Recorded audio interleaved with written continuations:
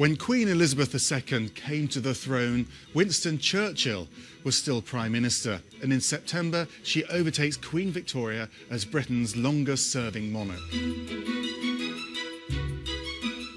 Crowned at Westminster Abbey on the 2nd of June 1953. Since then, she's received 12 different British Prime Ministers, met every serving US president apart from Lyndon Johnson, and had encounters with seven popes going back to Pius XII.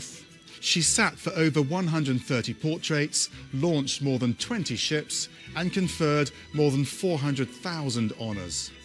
The Queen, now 88, has four great grandchildren, including her future heir, Prince George.